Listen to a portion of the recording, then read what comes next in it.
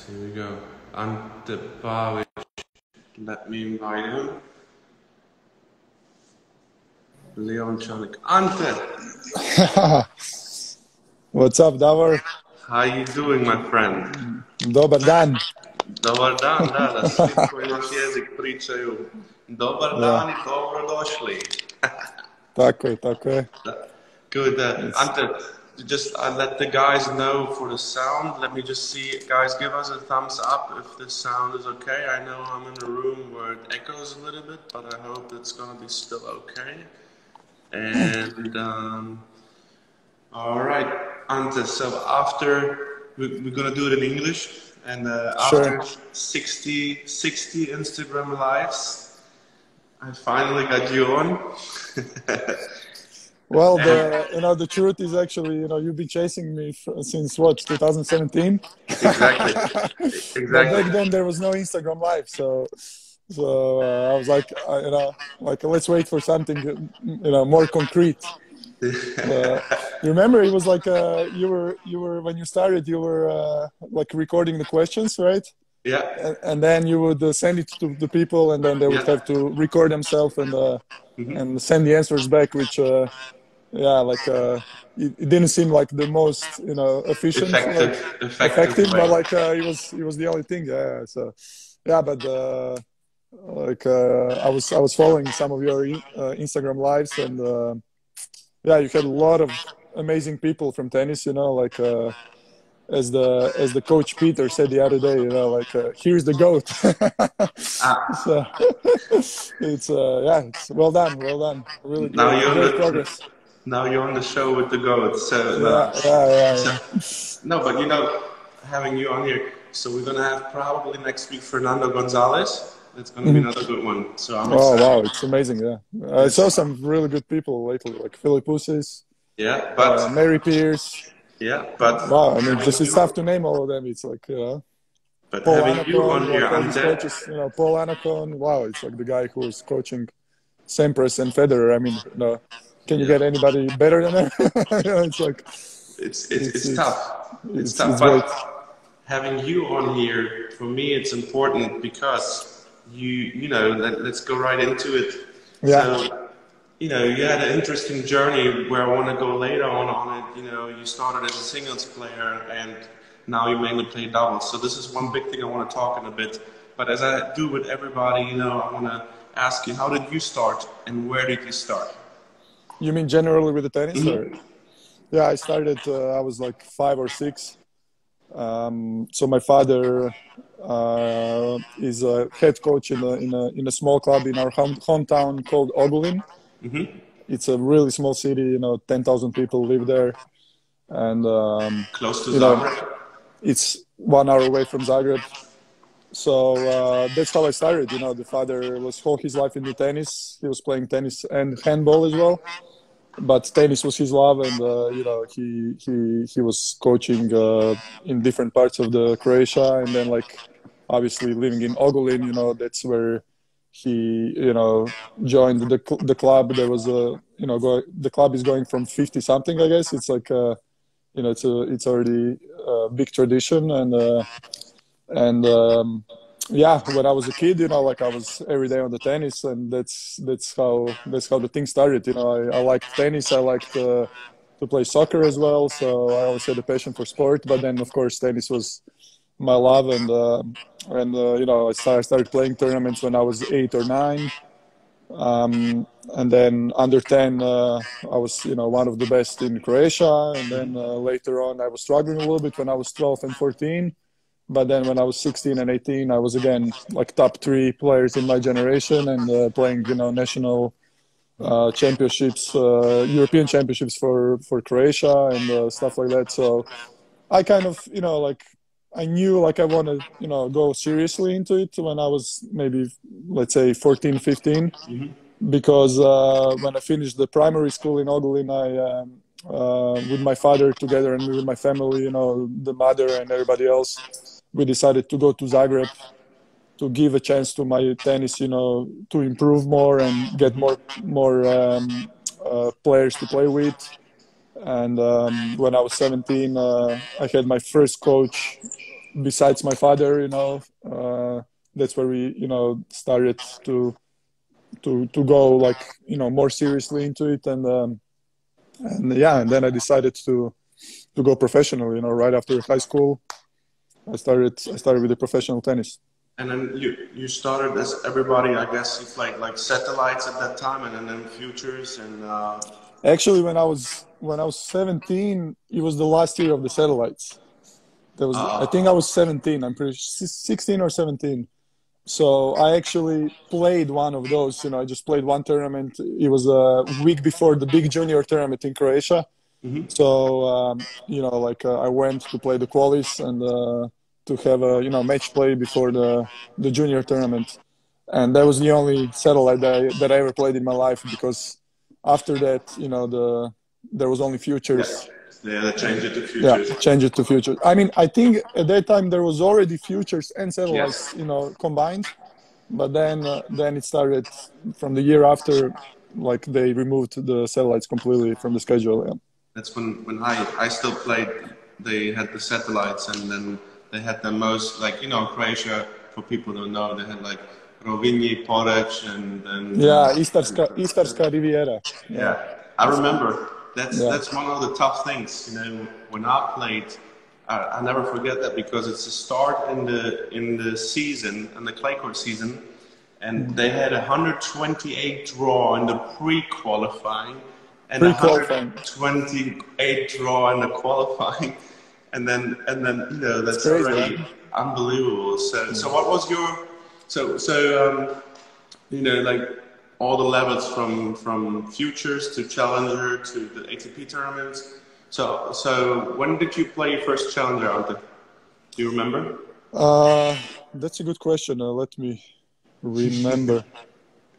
I'm not sure. Was it was it in Zagreb, the Zagreb Challenger, or was it like in a region like Banja Luka Challenger, maybe? Okay, so somewhere somewhere on the Balkan. Somewhere in ex-Yugoslavia, yeah, yeah. Um, I really I have a hard time to remember. I think it was Zagreb, to be honest.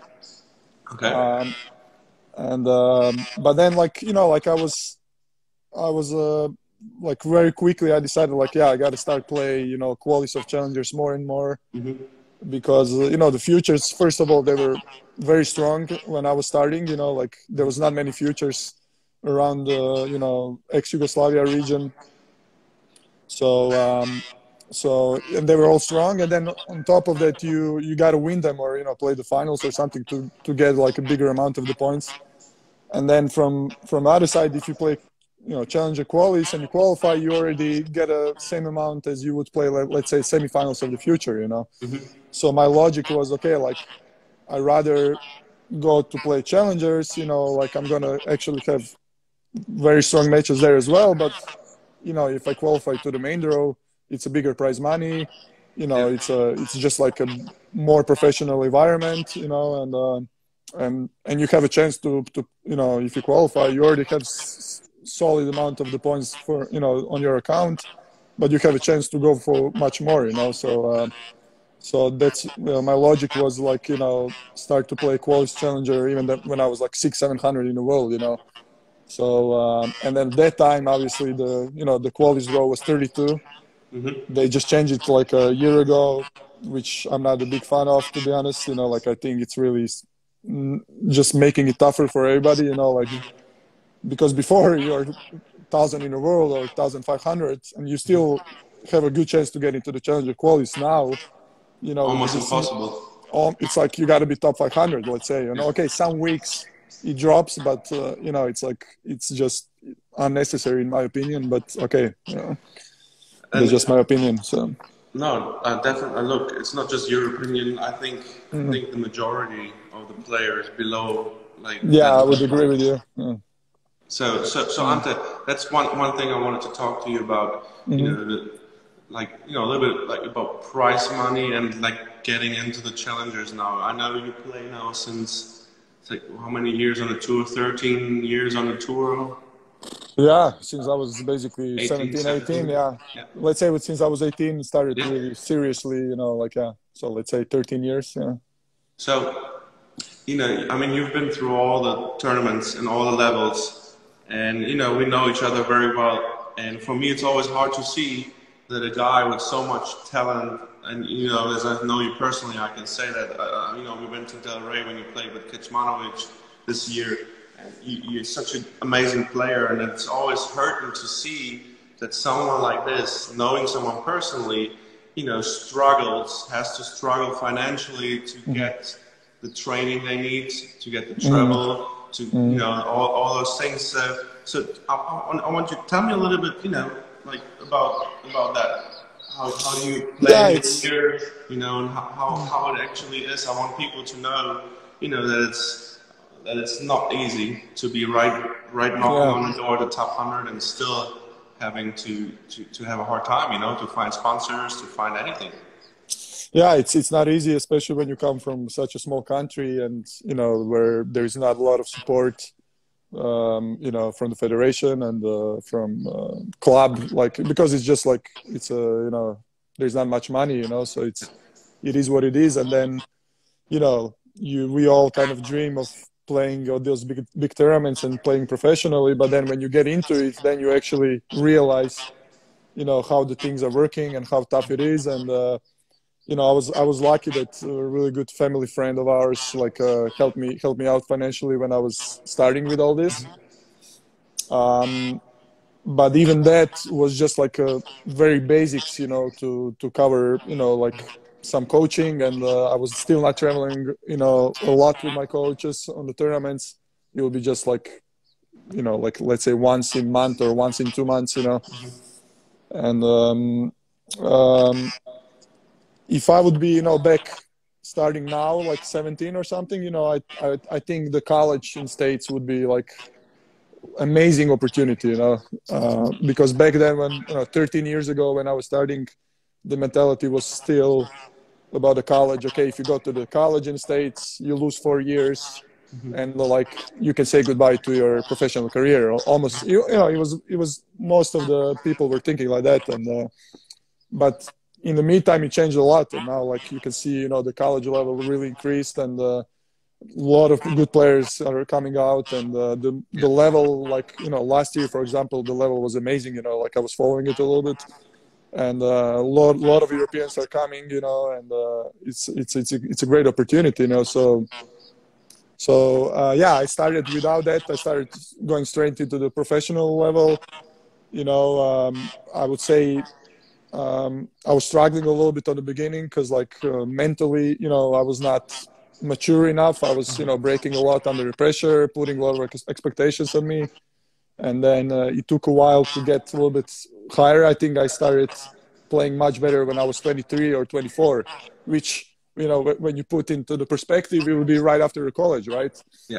So uh, that's where I, for first time, felt like okay, now I got a game. You know, like to do something more. I uh, have you know much more confidence. Like I I know what I'm doing on the court. You know, like I know how to play, how to cope with the certain expectations and pressure and all this and um, and that's where I started you know to to to I played my first um, Grand Slam in 2014 in Australian Open and uh, I was 20 I was 25 almost 25 so 24 you know getting 25 so um, um, that's where things got a little bit easier. You know, you get in the Grand Slams. There's a little bit bigger prize money. You can start, you know, uh, putting your own money into the, your career, schedule the things. Um, I was doing really well. Uh, I was by uh, by September of um, of 2014. I was 130, yeah. 132, 132. I think was the highest ranking, and um, um, and then like you know I had a little bit bad luck. I got a mononucleosis. Was six months out. You know, dropped in the rankings back to like five six hundred. Had to go all through all this again. Then got another injury. I was another six months out, and then kind of things you know got much tougher. You know, financially I, w- I was not making as much as I would make in you know throughout the 2014. So like I had a hard time to to have a same setup with the coaches and um, you know it's just like it gets it gets like a little bit tiring of course you know like when you you when you know where, where you were and when you know where you're right now and you still you know you cannot have the same setup. So I was start, you know, I started to think about the doubles in the last two years, and uh, basically last year I decided, in the middle of last year, I decided, okay, you know, because I always liked to play doubles. It was something that I enjoyed, you know, even though I gotta say I still maybe prefer singles a little bit more, you know. But uh, last year I enjoyed it a lot. Played with Tomislav Brkic, uh, many tournaments. We we won uh, five or six challengers, and uh, uh, we got to almost top hundred, you know. And uh, beginning of this year, we started actually a few tournaments we were not the way we wanted, but then we had a we had a first semifinals on the ATP 250 level, mm-hmm. Uh, playing against uh, my uh, uh yeah, we call each we call each other like half brothers, you know, Paul, Paul Brad, because we are not related uh, actually at all. So we played against him and uh, Nikola Čačić, the Serbian guy who who did amazing, you know, end of last year and beginning of this year before Corona lost very closely. We had a chances to win the first set, and um, they ended up winning the tournament. You know, so so that was the first bigger result on the ATP level, and um, and then we saw each other in Delray Beach. Yeah, you know that's where I played with Kecmanovic. Unfortunately, we lost seven six seven five to Taylor Fritz and uh, and uh, Tommy Paul. Yeah. So that was the last tournament before Corona. So, so, so Ante, you know that's what I wanted to go. So let's go. Let's go to the to the singles years. So mm-hmm. when you played the which one was it against with the French Open, right? So you you qualified for the French Open and you were mm-hmm. match points down against Kokkinakis, right? Exactly. Yeah. The last round of qualies, I played uh, Kokkinakis, and uh, I was match point down one or two. I I think it was only one in a five four in the third, but I was serving so I remember I hit a really good second serve like in, into his body, and he was know, he was late. He he, he missed it. Uh, then I ended up winning it seven five, and um, and that was my first time I qualified for um, for the French Open. It was actually the first time I played the French Open at all. You know, because like just a few months before that, I played my first Grand Slam in uh, Australian Open. And then, uh, so Kyrgios was watching the match, right? Because Kokkinakis and Kyrgios are good friends. So what did Kyrgios do when the match was over? I want people to know because everybody thinks always, you know. So I like him so much. I think yeah. he's a great guy, mm. right? So, so tell, tell, tell him what. what yeah, yeah, it's it's interesting that you remember all this. Like uh, we talked a lot over the past few years, but you know you you got to remember all these details. So yeah, he he he was you know watching the match, and then after the match, he came to me and he's like, "Man, like well played, you know, like really well played." End of the third set, and uh, well, you know, good luck for the for the main draw. You know? so I was really surprised, you know, because like I I saw him maybe few times before that match. You know, we didn't really get to know each other, but just you know, he was he was really cool and like you know, it was it was nice to hear that. Yeah.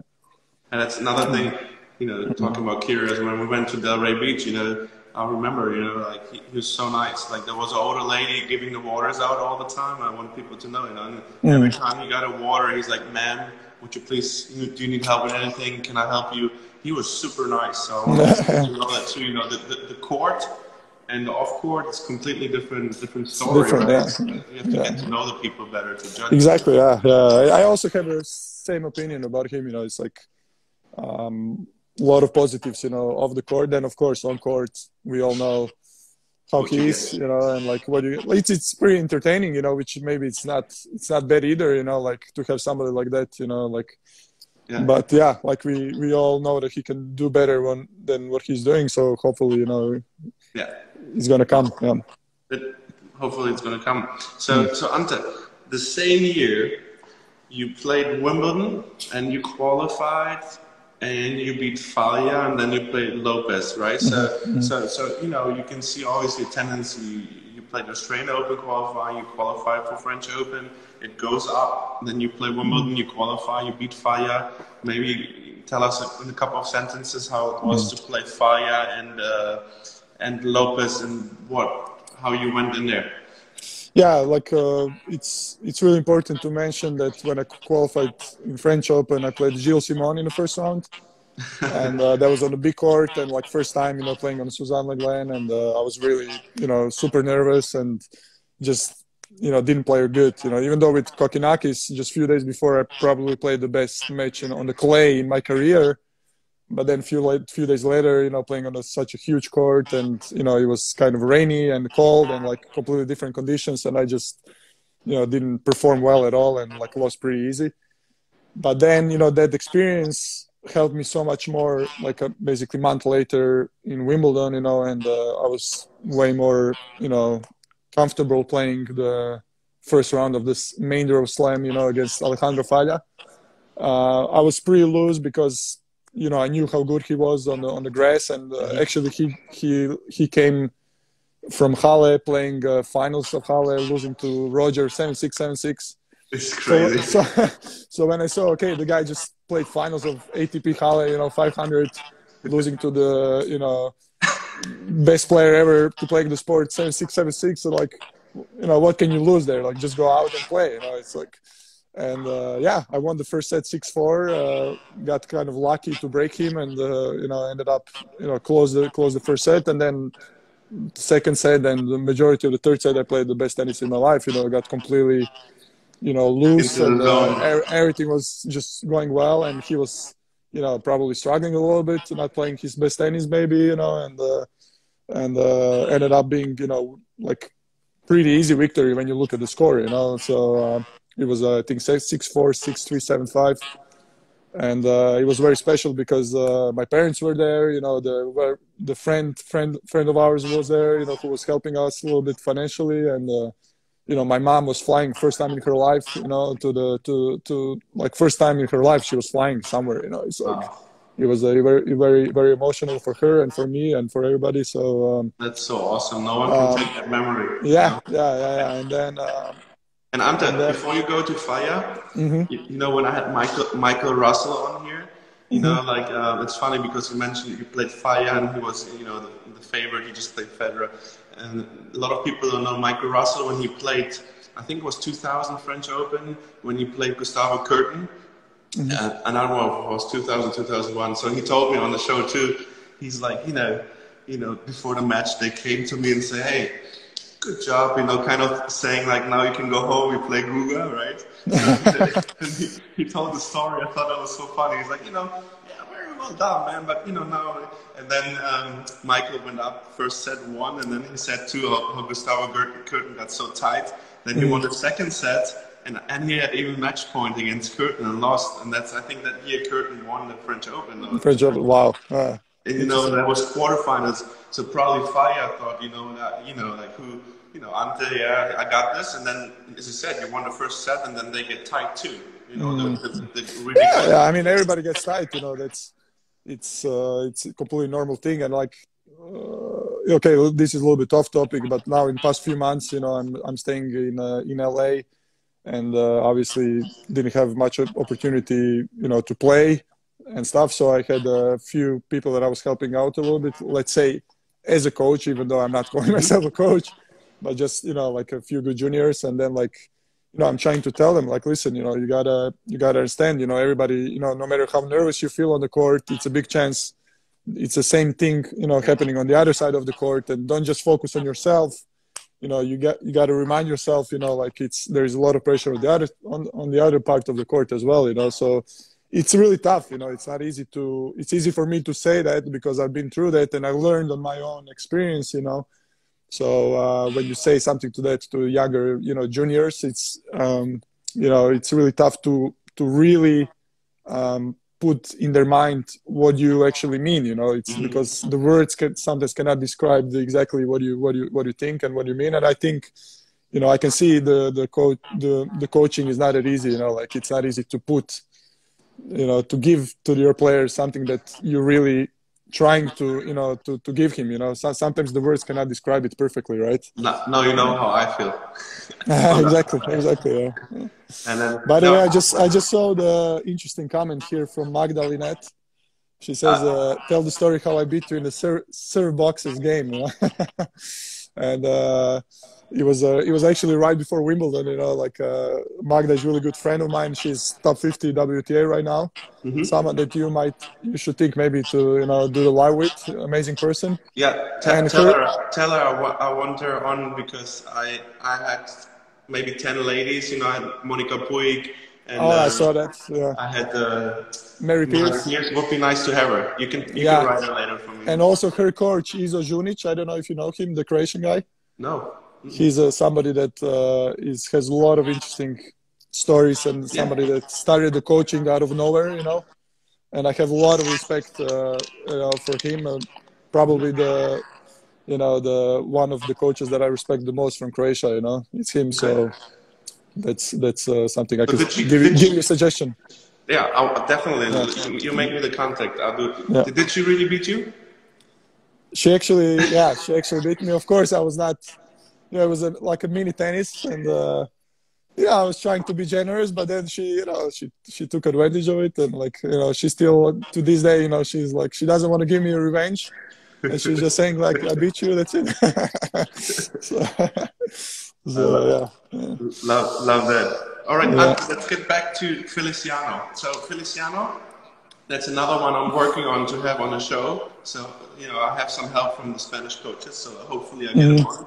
Um, so Feliciano, unreal lefty serve, right? So he doesn't hit the harder serve, but he puts it like this to the corners, you know. Mm-hmm. So, um, so how, how how did you get in there? What was your preparation in that match? Did you just say, "Look, I'm happy I won the first round, and I just don't have anything to lose"? You go in there, or how was the mentality you go in there? Mm-hmm. Well, the mentality was, you know, it's from one perspective, from one point of view, you were kind of satisfied. Okay, you just did like the best result of your career. But then from the other point of view, like you're confident and you, You you, want want more. more. You want more, of course, you know. and uh, Feliciano had like really good um, leading up, you know, like leading up, leading up tournaments to the Wimbledon. I think he won both the Queens and Eastbourne, if I'm right. I think it was two tournaments in a row that he won right before the Wimbledon. And uh, but then in the first round, I saw he beat uh, Sugita, uh, Yuichi Sugita, who was at that time qualifier same as me, and he beat him like seven six, seven six, seven six. You know, so it showed me like, wow, you know, it's actually it's actually possible. You know, it's like I shouldn't be just going there and like hoping to give like a good, you know, um, Show. good performance, good show, good performance, and you know, get out of the court. So uh, for some reason, he was. Uh, I actually put a little bit more expectations, you know. And I first said I didn't play that well. It was like four six, one break, but pretty pretty easy for him. And then uh, and then the second set was much more competitive, and we went to the tiebreak. I remember I had four two in the tiebreak. I had a you know mini break, and uh, I was serving for five two. Unfortunately, I didn't win that serve. You know, if I would if I would have won, maybe things would be a little bit different in that second set. But you know, on the end, he, he ended up winning the second set, and then the third set was, uh, I believe, seven five, one break on five all. So it was it was still pretty decent level, but I, I felt like I just didn't have that zone which I had in a in a in a in a round before, which is completely normal. It's it doesn't happen. You know, it happens maybe once a year. You know, that kind of zone which I had um, in the first round, and. Uh, and um, yeah, it was that was an interesting experience. You know, like playing in Wimbledon second round. Uh, you know, like first time being in Wimbledon, literally. You know, I never been in Wimbledon before that, Wow. and um, and uh, yeah, it was it was really special. So then, as you said earlier, unfortunately, injuries came. You know, you had mono for half. Actually, I gotta mention one more thing. Uh, like right after that, I went to States and I played the Newport. You know, the on grass as well in the the club where is the Hall of Fame, and I qualified there as well. Won a round and then lost to Lleyton Hewitt in a second round. Yeah. So that was that was a great experience as well and that was the last tournament that hewitt ever won Wow. You know? Okay. Yeah, so, yeah. Mm. Okay. So talking about Hewitt, just quickly, he was known as one of the best returners as well, obviously. Mm. So how was it serving against him? that was really interesting experience because uh, for some reason uh, he he's you know when we when we went on the court and when we started warm up um, he was like literally missing every second ball you know either in the net or long and i realized it's on purpose you know because uh, you know like you can just you can just tell you know it's like it, it happens once twice but then it happens every single time. It's like he probably didn't want to give me any rhythm you know playing from the back. And you know like such experienced player knows exactly how to throw you off with all li- li- all these little details you know. And um, i lost like three and three pretty comfortably. You know, he was returning real well and uh, just being solid overall you know like throwing some servant volleys out of nowhere then playing some amazing drop uh, passing shots and you know just being solid playing very flat you know which it's really tough to play against these kind of players on the grass because the, the ball stays low anyway. And then when he plays when somebody plays as flat as him it's it's even tougher. And um, yeah like uh, i felt like he was playing really well and you know he ended up winning the tournament which as i said like i was i just realized maybe last year or two years ago that it was the the last tournament he ever won. You know, so okay, that's, so that's another good one to know. Interesting, yeah, yeah. All right, and Ante, you got you, no, obviously, unfortunately, all the injuries and everything. So it is massively hard to get back in the singles ranking without mm-hmm. financial support, and you know, like so. so so you started to play doubles a little bit more, as you said, with Brkic, and mm-hmm. you're knocking on the door right now at the top 100. Mm-hmm. So, mm-hmm. so tell us, you know, the life on tour difference, like when you go from singles to doubles, like what what would change? I mean, you depend on someone else when you play, right? So if you lose, doesn't that always mean that's mm. your fault? It can be you can play well and your partner can play bad. So it's it's, mm. it's a mm. symbiosis of, of both of you. So so you know, what do you like about playing doubles compared to singles? Yeah, it's a, it's a, it's basically different sport, you know it's one thing when you play singles and then like you have doubles kind of on site you know like it's it's great to play you know the the match maybe to feel the conditions before your singles match. You know you generally when you focus on the singles you just play so much more relaxed doubles. And then you know like it, everything seems so much easier also with the rules you know there is a there is a no ad scoring there is a super tiebreak but then like you know now i got to experience since end of the last year mm-hmm. where i started to play some tournaments only doubles that was for first time in my career that i didn't play any singles only doubles and um, it's completely different story you know like you come to the tournament obviously okay you play doubles but there's no anymore you know like that comfortable feeling okay it's just doubles you know now it's it's all you got right so uh, from that point of view, it's it's a different mental perspective, you know. Mm-hmm. Uh, obviously, you have your partner that you have to, you know, accept that he's sometimes going to play better than you or a little bit worse than you. You know, like you both going to do some, you know, easy mistakes or mistakes in the wrong time on the break points and stuff like that. So that's like I said, it's completely different sport. You have to adapt. You have to have a lot of understanding for your partner because he's, you know, going through the, you know, mental pressure as well as as you you know? Mm-hmm. and then you know sometimes it's going to work but sometimes uh, it's not going to work you know? So like we went for example beginning of this year first two tournaments were in bangkok two challengers. We lost like first and second round you know?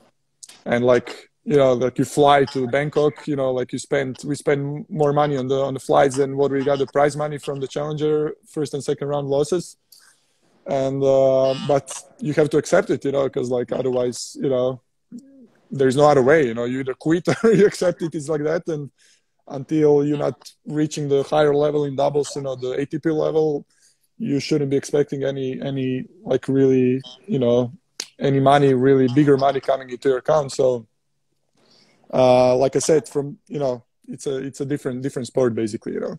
So when the coronavirus will go away, hopefully one day, mm-hmm. and you guys go back on the court, how is the ATP handling the points? So is it frozen at the moment, or how, how does it work?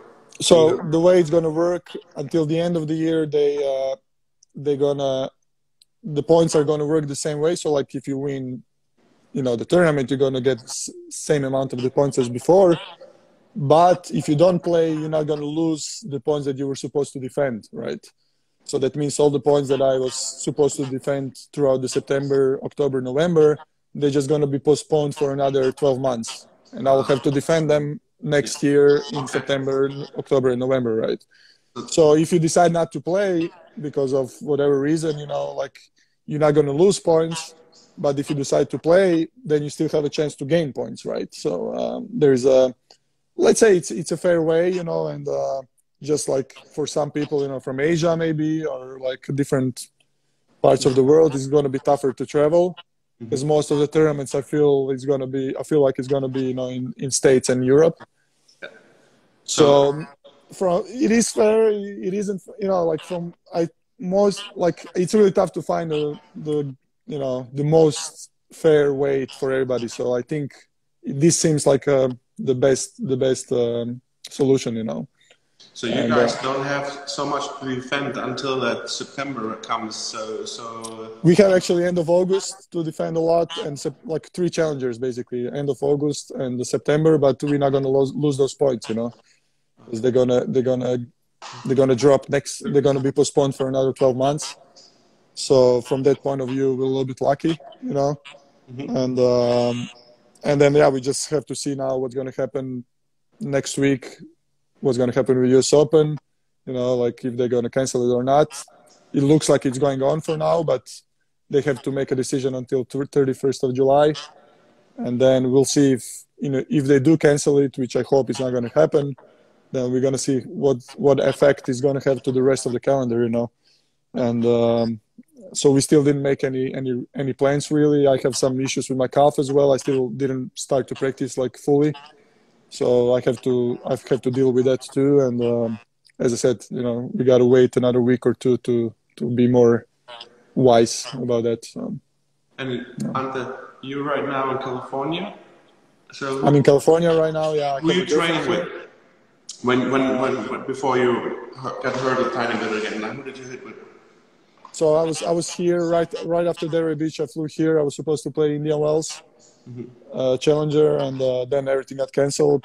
You know, I have a girlfriend here, so I decided to stay with her. Mm-hmm. It was a you know great great uh, yeah. opportunity for you know for my private life also, like to come into the mm-hmm. into the finally into the priority, and. Uh, I have a I have a, the one guy who's helping me out here. He's from Split, actually, oh, living nice. here already for 20 years. Uh, his name is Jerko Bezel. Uh, he's been he's been uh, work. He, he has a really interesting story. He's been working with uh, um, the the coach named the the first coach of Sampras, uh, Lansdorp, Robert. Lansdorp. I don't know. Yeah, heard, yeah, Lansdorp. Yeah. So uh, um, I got to know him like last year. It's really interesting stories, you know, because Sampras was my you know idol. idol growing up so like uh, i got to know like all these inside stories about pete and all this stuff and uh, and yeah so he's helping me out here as a as a coach a little bit and then you know i was as i said unfortunately i was i was injured a lot during this quarantine time so uh, i was practicing maybe five to six weeks like overall but yeah, there's a few guys that I know around LA that you know I was I was um, I was practicing in Carson a little bit on the USTA Center. Mm-hmm. I was practicing uh, with Jason Jung in uh, Peninsula Racket Club, which is a South Bay, and then uh, with a few juniors, few, few UCLA guys. So there's a lot of lot of lot of good players around LA. Nice, nice, yeah. nice, nice. Well, Ante. Mm-hmm. Well, uh, you see, time time flies. Almost like 45 minutes already. Yeah. Um, yeah, Ante, as I said, you know, I thought your story, you know, like now going from singles and you're knocking at the door in doubles, you know, top 100 now. So I personally feel the journey go, will go very, very high for you. And I mm. hope, I hope Thanks I a lot. see you, I hope I see you very, very soon. So, um, yeah. Thank you very much, Davor. It was, it was a pleasure uh, to talk to you and, uh, like this officially through the you know through the Instagram like the first time. officially yeah, no, so, um, yeah, as I said, I hope I'll see you soon. If, if they play the US Open, you know, I don't know, spectators they're not allowed, right? So yeah, I would, yeah, I would yeah. have to watch you on it's TV be, then. It's got to be like NBA, like what you see right now. You know, the the tryouts, no spectators, yeah. and like you're gonna hear everything, you know, and everybody doing any kind of noise. So yeah, it's, it's so. different. It's different. Well, Ante, thank you for your time on a Sunday. We hear each other on the phone, and uh, that was awesome. I had a lot of fun, and uh, I hope um, I hope you have a good start in the week tomorrow, and we stay in touch, my friend. You too. Have a great day, and uh, see you soon. Thank you, Ante. Ajde, bog, brate. Bog, bog, brate, bog, bog. Yeah, Ante, super. See, the insights are amazing um, fantastic guy. It was really fun. Thanks everybody who uh, joined us today. You, heard some stories. That there was good, good, good stuff. You know, with when he beat Kokkinakis and Kyrgios, you know, still gets up there and says, "Hey, great job, man. It was an awesome match." So those little insights are amazing, and uh, you see how the struggle is on the tour um, with the prize money. So uh, I will always fight for the increase increasement of the prize money because people can't survive. You know, even if you're right below 100. So um, it's sad. It's sad to see if it affects your friends. I have many friends who still play, but let's see. Let's see how that uh, goes. And then 1010's birthday is today. Happy birthday. and yeah, guys, so Fernando Gonzalez, hopefully this week, at the end of the week, maybe next, the following week.